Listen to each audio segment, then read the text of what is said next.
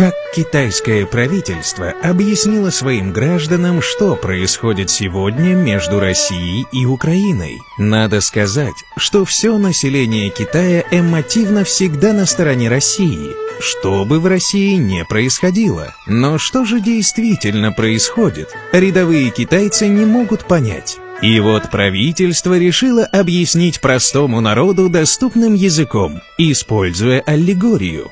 Более 20 лет назад Украина развелась со своим мужем Россией. В этом браке были дети. Муж, Россия, был великодушен и оставил жене большое наследство. И даже оплатил долги жены – 200 миллиардов долларов.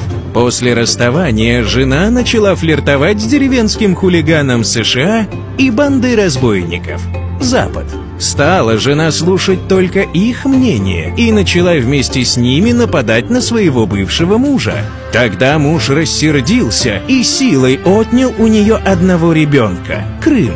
Тогда разъяренная жена заявила, что она выйдет замуж за НАТО, чтобы силой заставить своего бывшего мужа вернуть Крым обратно.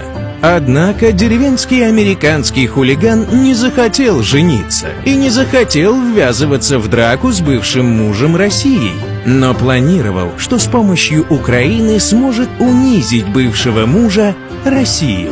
Жена была плохой матерью и время от времени била своих других детей Луганск и Донецк.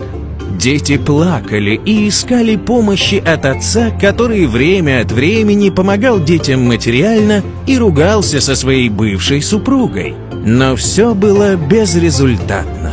Главный бандит, который и вызвал эту ругань и свару, использовал эту жену, желая получить ее богатство. Подговаривал ее на ссору и дарил ей различные подарки – обмундирование, оружие, технику, у которых истек срок действия. Жена решила, что она имеет заступника, на которого может положиться, и стала дерзить и провоцировать своего бывшего мужа. Его терпение лопнуло. Вместе со своим родственником Белоруссией он начал борьбу за защиту своих детей – Донецк и Луганск. Тогда она вместе с хулиганами ЕС и НАТО испугалась. Главный насильник и хулиган – США – отказался дальше ругаться с бывшим мужем и оставил жену один на один с бывшим мужем. Муж теперь заводит контроль над детьми и имуществом, которые оставил своей жене. После такого объяснения китайцы все поняли.